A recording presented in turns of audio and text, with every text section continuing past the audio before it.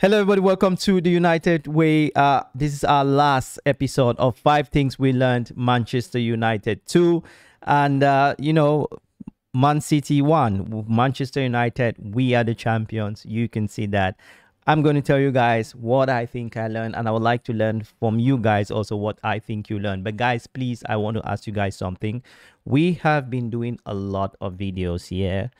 Our channel hasn't had that opportunity to you know to blow up. So we don't people don't know this channel. So please for all of you who have managed to come into the channel firstly always click a like on the video. That helps the system to share with us. And for those of you here who have been here for ages i mean i know you by name. I don't need to call them. You know we have a small community. Please share these videos. Always like the video so we can build a bigger community this summer we'll be doing some videos outside old trafford we'll be so doing some videos also um on united training ground and everything we will try to do that but please we are looking for sponsors so for us to do that we need your help I've not asked you guys for money. I'm not got you guys to page chat here for me to read your emails, for me to read your messages. But please, hopefully, you will get involved with it. Thank you very much, and thanks for your mature understanding. Let me go straight. So, the first thing we learned yesterday is that we have a very good youth. If we can help to develop the youth in Manchester United, keep them, preserve them, don't get them spoiled with crazy contracts this is a very important thing. You agree with me? Don't get them. Don't give them all this crazy contract that makes them feel they're they're at some kind of a demigod. Nurture your youth very well. Real Madrid does pay. Did you know that United pays paid uh, Casemiro twice the salary of Real Madrid to bring him to, to Manchester? So Real Madrid does pay these players really well but they have a way they manage the players. So United, I hopefully that all what uh, the Ineos are trying to do, they are trying to build up a team of people who know how, who have this psychological experience to to manage players. I think this is very important. We have massive players that can do well, but the question is how do we manage them? You have Rasmus Højlund, which I think he plays with his heart for United. We need another nine, so there should be competition. You have Kobbie Mainoo I don't know what to say about Kobbie. And uh, I mean, I've told you guys many times. I think I haven't heard anyone saying this. Kobbie Mainoo, I've said this on this channel many times that um, Kobbie Mainoo closely becoming, um, he will be the future manager, Manchester United captain. His attitude, his leadership, he he he commands respect. That is, I think, he's just fantastic. Garnacho, if Garnacho puts his head down next season and try to play simple and uh, you know he, he he has all the attributes to be a very big thing. I think his career unfortunately would if with, with this trajectory which he is now i think unfortunately Garnacho will end up in real madrid. These are south american players. You can't stop them from leaving when they want to go but i hope he can win something at least a european cup with manchester united. Um Amad, remember when I said last week, if Ten Hag doesn't start Amad in this game, he should be sacked. This is because I looked at the game as a normal game. I forgot something. When I get things wrong, I must admit it. I forgot that this is a game in which United we had to approach it in a particular way. We had to have a strategy of, you know, when to explode, when to stop, when to attack. And Amad has one of those qualities that are not really uh, respected in the Premier League. Amad will do fantastic with Manchester City, but I think in a league where physicality is often put above, um, you know, technicality. Amad will always have a minus on that. But yes, guys, I just want to say again, please, please make sure you click a like on this video. That helps to bring those who don't have I'm not a Brit. I'm not an Asian. I'm not a. I'm not a Russian. I'm not. Um, uh, I'm not an American. I'm not someone inside the United setup. I'm an African boy like you, African man like you, who love the club, and I want to build up also our people, our society, and those of you who support uh, uh, the football in general. I got this in Croatia some years ago. This is Manchester United stuff. My personal history with Manchester United. I'm going to tell you guys when you have a, we have a bigger community. But let me go straight with the number two. Number two is that we are champions. Manchester United. We are now second the most. Well, we were actually. Now we are just one trophy behind um, Arsenal with 14. Arsenal has 14, and we have to have just won our 13 um, FA Cup 13 FA Cup. So we're the second. I think that the third person behind us is Chelsea with eight. I think, if I'm not mistaken, City is way down. I think City, uh, last time I looked at it, City was, I think, seven with Aston Villa. Let me just read it to you. Okay, so this is it. You have Chelsea eight, Liverpool eight, Hotspur, Tottenham Hotspur eight. Wow, I think the last time they, they won it, I wasn't born. Um, City 7, Aston Villa 7, Newcastle 6. So that is it. We are 13. The highest is Arsenal. You know, there was a period where Arsenal was winning this thing every time. But um, yeah, United, we are back. We are champions. Manchester United is red. Manchester United is red. So, uh, I mean, the truth is that if you go to Manchester, the city, clearly 75% are Manchester United fans. Clearly, I mean, you feel it. It's not a crime to be a City fan, but you know, the fact is that the history is with us, with the team. So we are lucky about uh, that. So the other thing is this manager. This is a story, Erik Ten Hag. I think Erik Ten Hag will be sacked. I think he will be sacked with a condition um, that they will sign a player. Why? Because normally after I think they, the, the story that Erik Ten Hag had to be sacked was already in the media.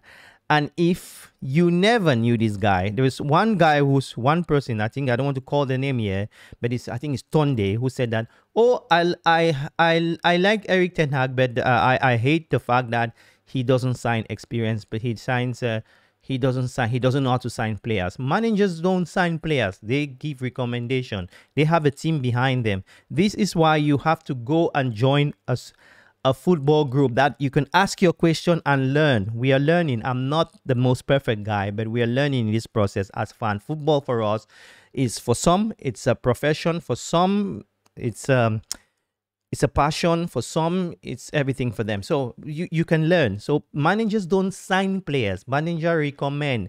You can say let me tell you how play um, coaches do sign players. Maybe some of you don't know. When you want to buy a, a, a defender you say i want a defender who is good on the air. The, the, statistics is good on the air good with his left foot and can penetrate very easily from from between lines. That's what you want. You don't say i want to go and sign laurent blanc I want to go and sign Rio Ferdinand. Is the club to search those three kind of players with those attributes to sign? So when you say I want an explosive right wing, uh, um, uh, uh, the midfielder, someone who can who is an inverted winger midfielder, and you go and bring Antonio and say, oh yeah, work with Antonio, fine. I don't choose to to, to what what um financial cost should be given to Antonio. I don't choose it.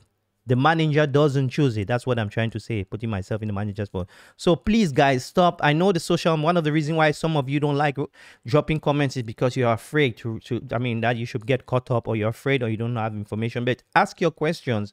We will share. We are a community. This is not my channel.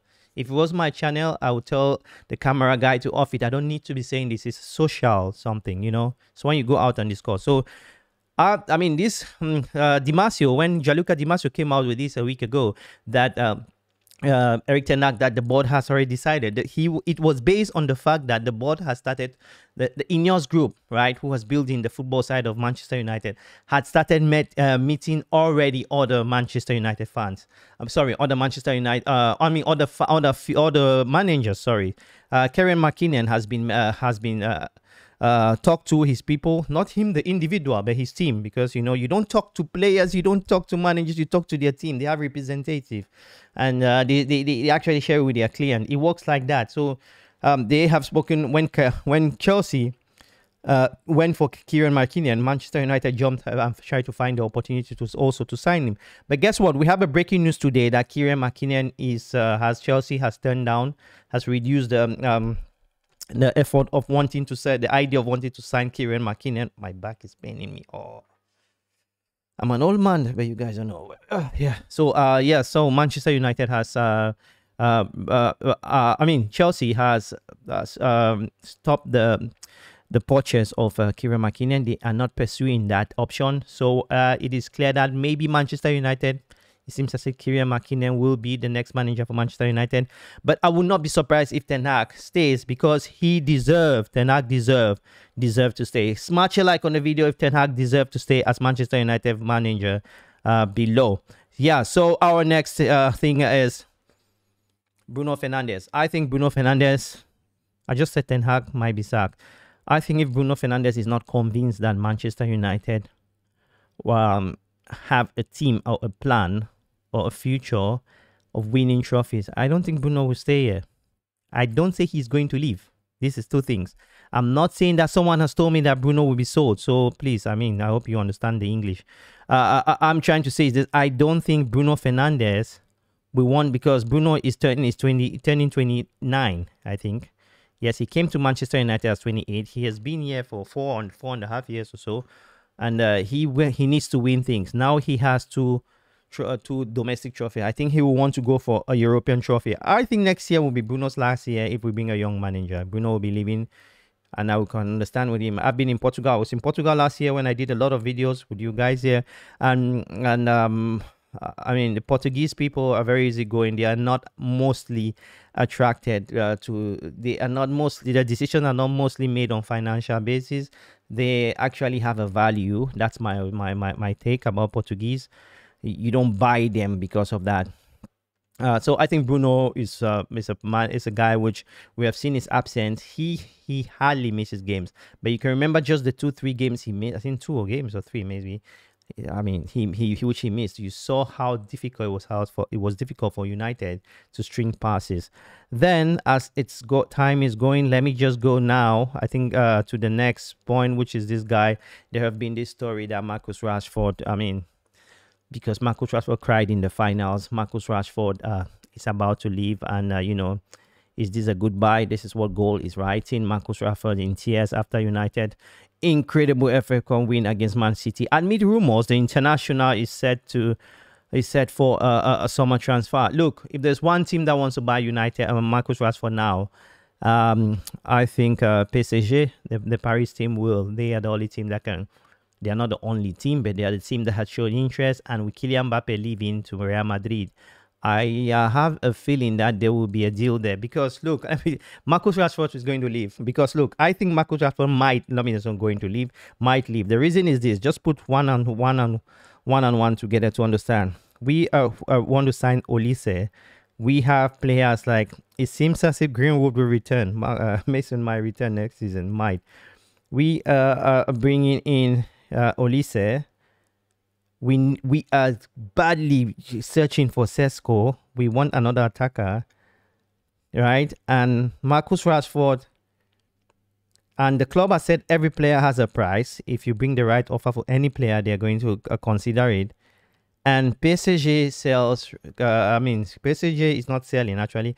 Uh, Kylian Mbappe leaves PSG. The Paris probably will shout for a new big name I think Marcus Rashford will be given a bombard. I th- I'm seeing a, I look. I've said certain things here that have come to pass. I'm seeing if if Marcus Rashford leaves Manchester United, it will be a 100 million euros transfer. So something like an 80 80 million pound, eight, between 80 and 90 million pound transfer for Marcus Rashford for Manchester United to to Paris Saint Germain. I think he is in that state where he needs to make his mind. It's more about him and uh, yeah that's where we are. So guys thanks all of you for watching guys. We'll be doing some live streams here at least three four times a week. We did one yesterday. We started it. We'll be doing it anywhere around the world. Now we will be doing it. I'm traveling to turkey. We will do it for a short stop and we will do some streams here. It will might not be on the uh, in the studio but we'll do those streams talk to you guys it will be always like 30 minute streams uh, daily, especially a lot of transfer going on. So, guys, make sure you click the bell, subscribe to the channel, join the United Way uh, membership. We have no member, just subscribe. I would love to meet uh, football fans who are who who have a, a, an opinion on football, a real or proper opinion. So, guys, that was five things we learned against uh, uh, the game Manchester United, Manchester City. Hopefully, next season we'll come back strong. Life is all about hope because uh, Without hope, you're a dead man walking. Anyway, lovely show. Thanks for watching and talk to you soon. Bye bye.